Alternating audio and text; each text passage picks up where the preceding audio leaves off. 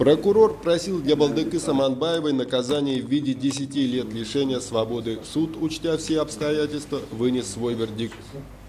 Признать виновной с назначением наказания в виде 8 лет лишения свободы с отбыванием наказания в колонии общего режима. Летом прошлого года в доме у Балдыкыс, жительницы Ардабасинского района, между хозяйкой и ее сожителем произошла ссора, перешедшая в поножовщину.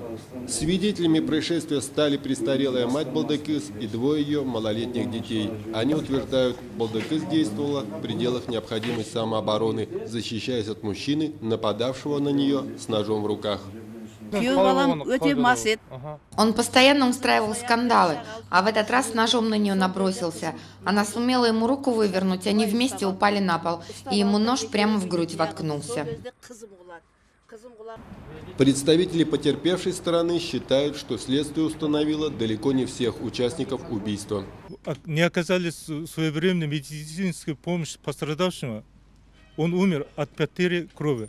Этот следователь, который рассматривал это дело, следователь Орда Басинского РОВД, собрал ложные показания свидетелей. В итоге на свободе остались основные, остальные э, преступники на свободе.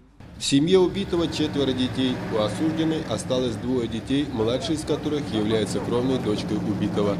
Приговор пока не вступил в законную силу, и та и другая стороны намерены подать заявление на апелляцию.